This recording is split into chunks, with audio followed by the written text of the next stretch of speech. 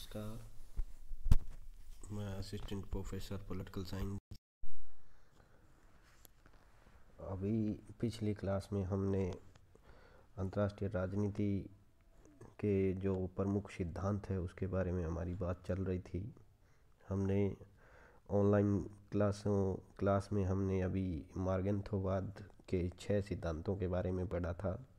उसी क्रम में अब हम आगे बढ़ेंगे।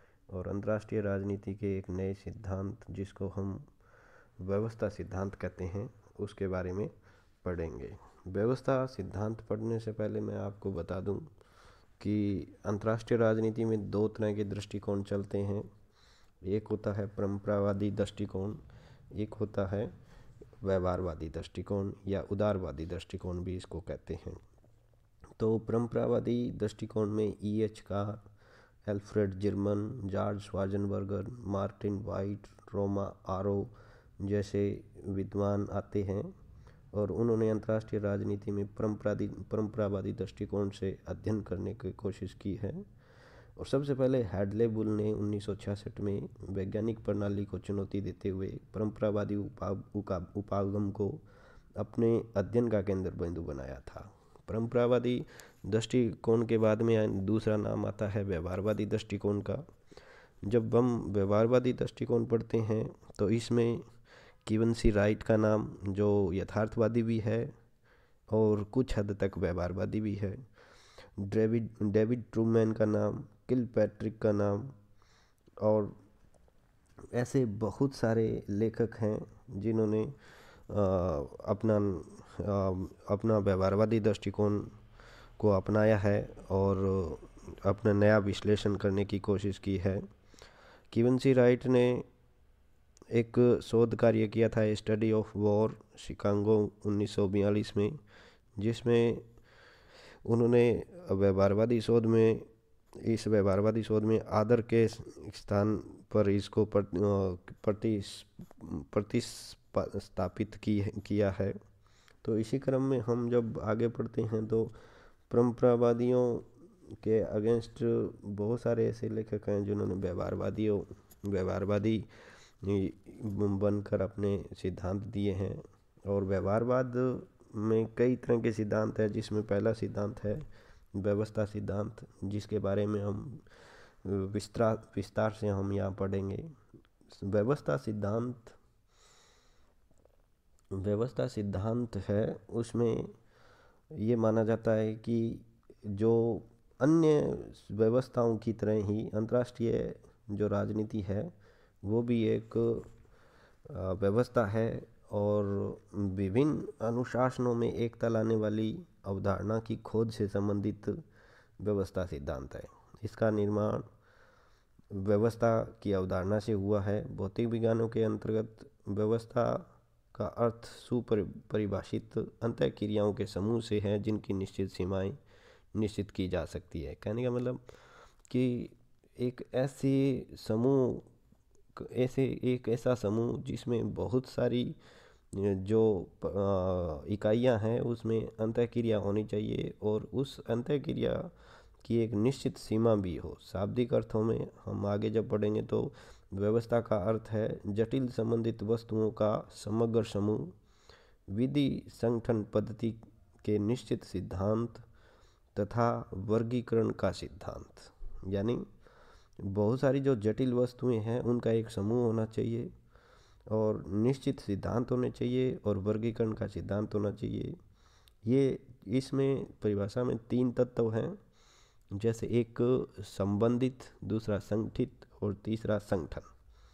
अर्थात एक व्यवस्था संगठित होनी चाहिए और उसके अंग आपस में संबंध रखने वाले हों। यदि किसी स्थान पर हम, हमें संगठन मिलता है अथवा जहाँ संगठित होने के गुण पाए जाते हैं और उन सभी उन सभी, उनके, सॉरी, उनके सभी अंग एक दूसरे से संबंध है तो वहाँ व्यवस्था विद्यमान होगी। यानी एक संगठन पाया जाता है। संगठन के कई अंग होते हैं और ये अंग यदि एक दूसरे से संबंधित है तो हम इस सारी जो समूह है, उसको हम एक व्यवस्था, इस सारी प्रक्रिया को या इस समूह को हम व्यवस्था नाम दे सकते हैं। बर्टन लेनफी व्यवस्था को परिभाषित करते हुए लिखते हैं कि यह अंत क्रियाशील तत्वों का समूह है, यानी अंत क्रियाशील यानी आंतरिक रूप से कई तत्व हैं जो एक समूह में रहते हैं और आपस में अंत अंत क्रिया करते हैं। आपसी क्रिया, आपस में क्रियाशील रहते हैं। A set of elements standing in interactions यानी standing in standing in interaction यानी एक एक इंट्रैक्शन में खड़े हों। ऐसे समूह को हम व्यवस्था कहते हैं। हाल एवं फैगन के अनुसार वस्तुओं में परस्पर्श तथा वस्तुओं और उनके लक्षणों के बीच संबंधों सहित वस्तुओं के समूह को व्यवस्था कहते हैं। वस्तुओं के परस्पर तथा वस्तुओं और उनके लक्षणों के बीच। यानी पहला तो वस्तुओं के बीच में होना चाहिए। दू, दूसरी बात जो वस्तुओं के लक्षण हैं उनके बीच में जो संबंध हैं ऐसे समूह को हम व्यवस्था कहते हैं। कैलिन चेरी ने कहा है, व्यवस्था एक ऐसा संपूर्ण संगठन है जो लक्षणों के विविध निर्माणक भागों में सम्मिलित रहती है। यानी संपूर्ण संगठन के जो अन्य सभी भाग हैं, उनमें हर जगह एक व्यवस्था विद्वान रहती है। तो ये तो हुई व्यवस्था की परिभाषा। अब अंतर्राष्ट्रीय राजनीति में व्यवस्था कहाँ तक देखी जा सकती है? इसका पर्यटन सबसे पहले डब्ल्यू थॉम्सन थॉम्पसन ने किया और उसका विस्तार है वो मर्टन कैपलन ने किया। यानी इसका सब सर्व, इस कल्पना का या इस धारणा का सर्वप्रथम कल्पना है वो थॉम्सन ने की और उसका विस्तार है वो मैटर कैपलन ने किया।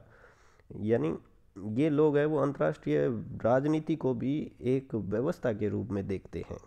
अंतर्राष्ट्रीय राजनीति में व्यवस्था तीन अर्थों में प्रयोग, व्यवस्था को तीन अर्थों में प्रयोग किया जाता है।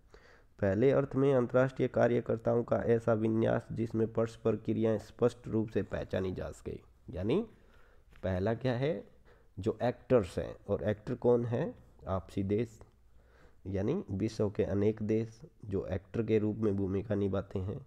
तो उन एक्टरों के मध्य आपसी जो क्रियाएँ हैं उसको हम व्यवस्था कहते हैं। दूसरे अर्थ में हम जो विन्यास हैं, यानी जो क्रिया हो रही है, उससे जो विन्यास है, वो स्वयं विन्यास का स्वरूप ही राज्यों के व्यवहार की व्याख्या करता है। यानी जो विन्यास, हमने जो आपसी क्रिया से जो विन्यास बना है, उसका अध्ययन जब करते हैं, जिससे हमें राज्यों के स्वरूप के बारे में पता चलता है या व्यवस्था के स्वरूप के बारे में पता चलता है तो या उसके व्यवहार की व्याख्या की जा सकती है उस विन्यास से तो दूसरा ये अर्थ हुआ। तीसरा अर्थ, अंतर्राष्ट्रीय राजनीति के अध्ययन में विशेष प्रकार की प्रविधियों का प्रयोग को व्यवस्था कहते हैं। अब दूसरी, जो विभिन्न टेक्निक्स यूज़ की जाती है, उन टेक्निक्स के प्रयोग को व्यवस्था कहते हैं।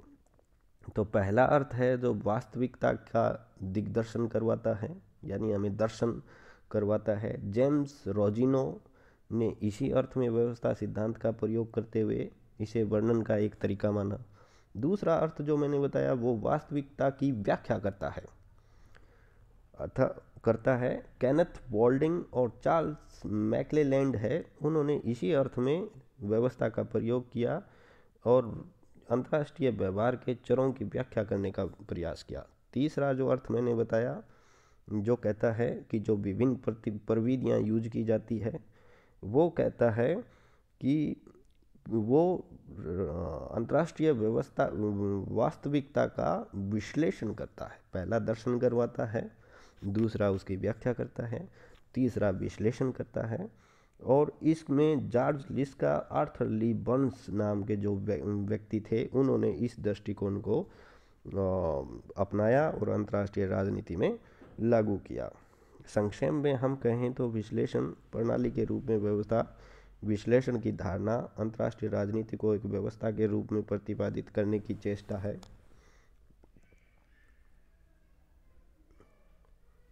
अंतर्राष्ट्रीय राजनीति के रूप में चेष्टा करने की अंतर्राष्ट्रीय विश्लेषण की धारणा, अंतर्राष्ट्रीय राजनीति को एक व्यवस्था के रूप में प्रतिपादित करने की चेष्टा है। इसी क्रम में जेम्स